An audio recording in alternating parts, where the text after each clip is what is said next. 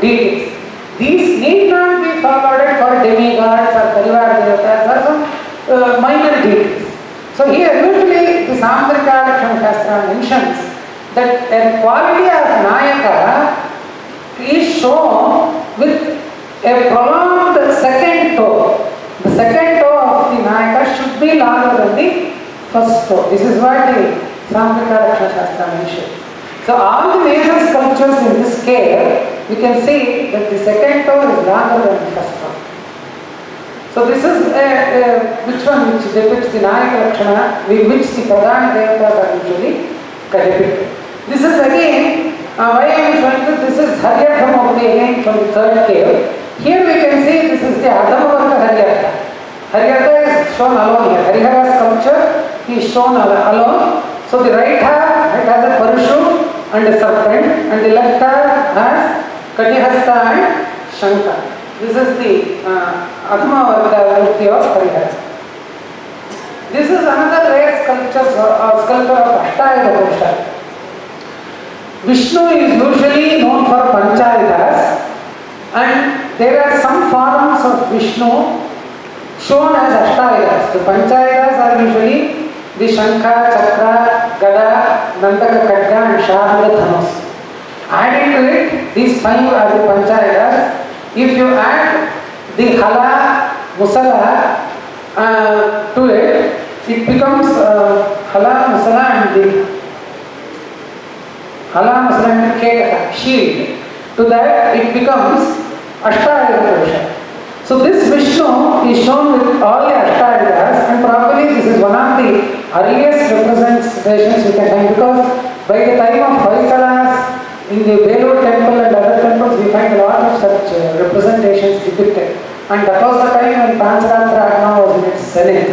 But this is the uh, one of the earliest sculptural representation and here Narasimha is shown as coming out from Vishnu from uh, above the crown. No. See, this is the crown, Kirita part of Vishnu from which Narasimha is emerging.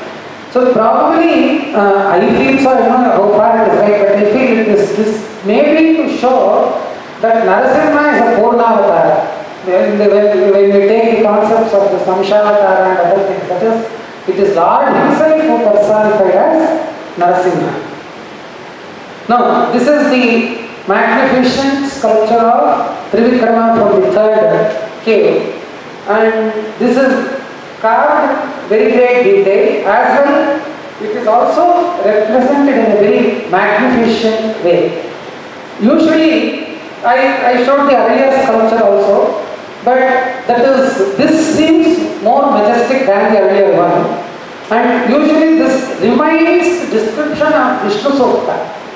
Vishnu Sukta, which, which eulogizes Vishnu as having, you know, like uh, expanded to all the three words, and there are uh, uh, adjectives like Urugaya. Urugaya means wide body, which is which is which is a body of great expanse, and because the shoulders, the thighs, the chest, everything is very massive and masculine in this sculpture. And again, is, he, there is another uh, adjective as Trivikramaneshu. He is one who has crossed all three worlds.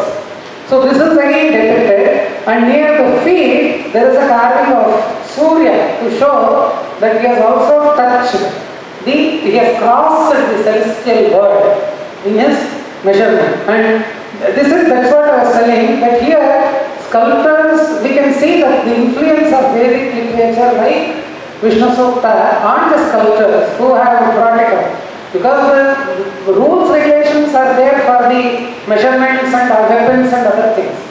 But for the expression of the face, body and the magnitude, I feel such things the sculptors have uh, inculcated from their uh, uh, uh, Shravana Shakti.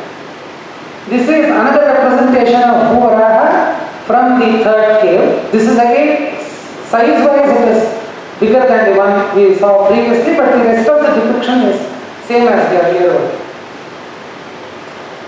This again is to show few structural aspects of this cave structure. Here, uh, Vastu Granthas talking by talking about the capitals of the columns of the pillars, they say there are various varieties which I will not go deep into. So there are varieties called as Taranga Potika and Chitra Potika mentioned in uh, text. So for Chitra Potika they say you either carve the Bimba and the Potika itself or you attach a Puttalika to the Potika. So then it becomes Chitra Potika. This aspect we see beginning from the Sanchi Stupa days and here in this Badami Charita third cave we see that various Puttalikas, that is the sculptures are fixed to the uh, pillar corridors. This is the ceiling design. In the later structural temples, we see the ceilings are carved in various manners and this, this is the earliest representations. Here we can see Mahavishnu is surrounded by Ashtadikpalakas. We- To the east you have Indra, here this is Indra and this is Varuna on the uh, Makara. That's just it's, a, it's more of a water animal shown here. So this is again Brahma depicted amidst of the Ashtadikpalakas. Later in structural temples, decorating the Vitana with Ashtadikpalakas became a norm as far as the Gangas and Nodambas. In all the temples they have the Ashtadikpalakas with the central uh, cube with the main the representation of the main cube. This is just an Anga sculpture. This is to show the Garuda is sculpted below the Kapota of the third cave.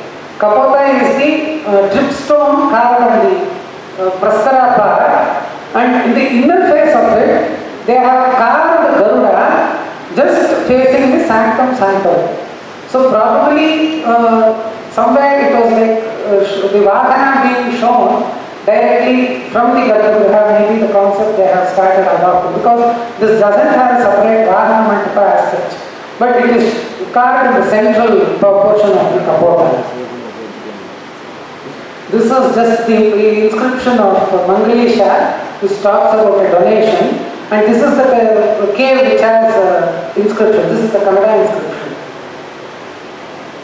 Now, in between the third cave, Stack Sanctuary and the fourth Robert Sanctuary, we just have a natural stone cavern. Probably the, they intended it for the Buddhist cult. Because though uh, then for some reason unknown, the work has been stopped. We really do not know what the reason was. Because the work has been started, but it is incomplete and we have a small uh, uh, relief of Padmapani, Bodhisattva Padmapani on the rear of the cave structure and nothing else. So probably they also intended because there is there is this Chatussamaya concept. Chatussamaya Palaka, the kings were called as Chatussamaya Rakshakas. And Chatussamaya was Shaiva, Vaishnava, Bauddha and Jaina. So they were Chatussamayas. And Shaiva we have we have Vaishnava and we have a Jaina one. But here probably they intended to build a Buddha, cave also. But for some reason they have left this place. And we have another rock cut shelter in Badami which has an with the image of Buddha. This is the last and the fourth uh, rock cut structure uh, in, in the series of Badami cave. This is a Jaina. Now, again coming to the Shastra Grantha part of it, Shastra Granthas clearly mentioned that the Jaina and Bauddha temples can be built based on the same structural uh, uh, definitions. But Jaina themselves have separate texts which deal with their uh, temple building and other things. But overall, both the texts accept one thing that the structures of the Jainas are simpler compared to the structures of the Vedic cult. They are very, uh, very austere. They, they do not have too many sculptures or too many carvings, intricacies or whatever. It's a very, a very simple and plain structure. So be seen that in earliest things we saw the kumbhas were decorated, the upper part of the pillars were decorated, we had some panels everything. But here the pillars are very, very sober and they're just Brahmakanta pillars with the necessary avayavas or the uh, angas. So this is the sculpture of Adinatha to the rear wall of the, it has only one, one porch. So Adinatha. This is the sculpture of Parshanatha opposite to that. Here, this is the sculpture of Bahubali. Here we can see Bahubali, uh, here his sisters are carved as removing the Madhavi Vikas from his feet on his either sides. This is, there are two feminine, feminine figures here and they are, they are trying to relieve him from the Madhavi Latas which have surrounded his feet.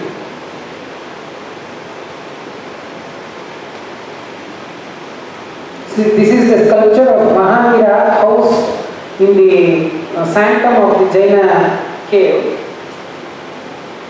Hmm. So this is the uh, last slide.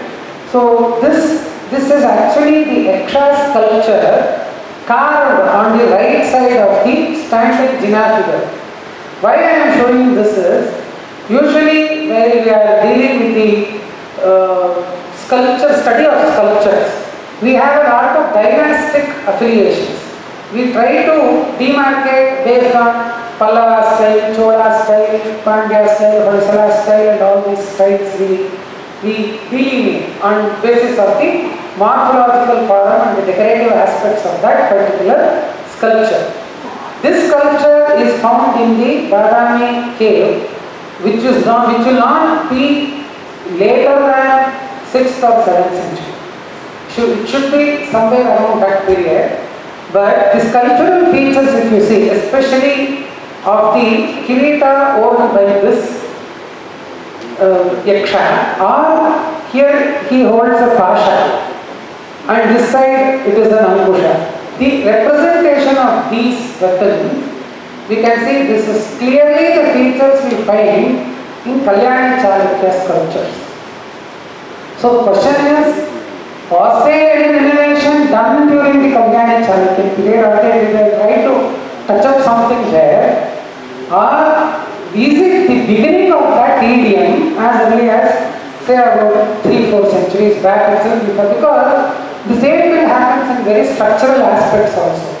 There are sometimes some types of uh, corbels or pillars which is said to be very popular only during 15th and 16th century but their forms can be seen in early 10th, 11th, 8th, 9th centuries.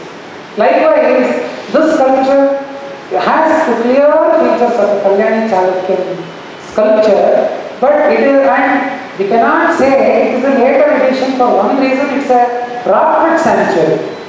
It is not a structural temple. If it was a structural temple, the chances of replacing it or bringing it something or at least changing the Pratapali was possible.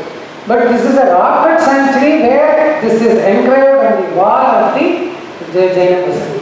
So this is to show that some features they have the early uh, uh, uh, depictions also in this case. So this is about uh, my lecture on Badami caves. Hope I completed it in time.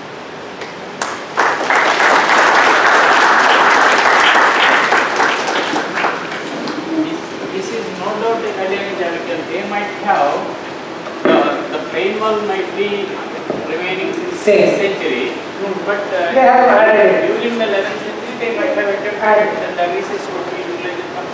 I, I actually I have the same thing because the concept of yakshas and yakshis also became more popular only after some period than the earlier days. Any other?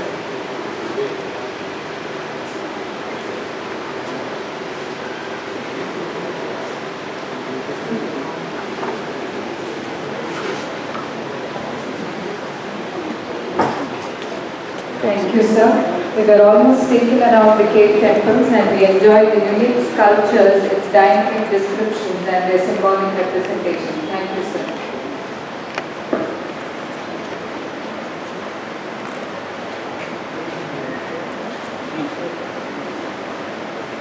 Since we had a wonderful lecture on Islamic cave temples by Dr. Manoj, on behalf of the Local Club of Metropolis, I would like to honor Dr. Manoj. I request you to give Dharam Shah good